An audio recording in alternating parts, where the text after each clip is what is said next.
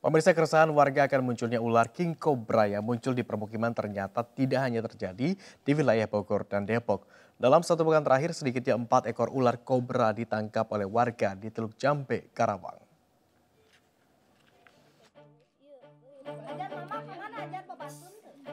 Video amatir penangkapan king cobra sepanjang satu setengah meter ini direkam oleh warga Gempol Girang, Teluk Jambe Timur, Karawang.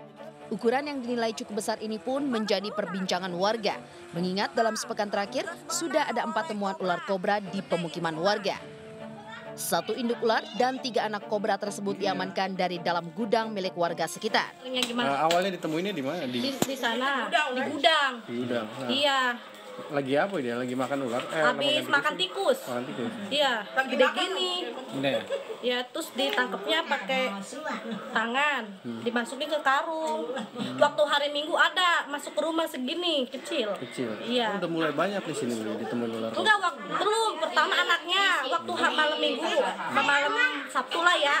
Malam Sabtu segini ketahuan sama bibi. Terus udah dimatiin. Waktu hari minggunya di rumah. Ini mama saya. Segini.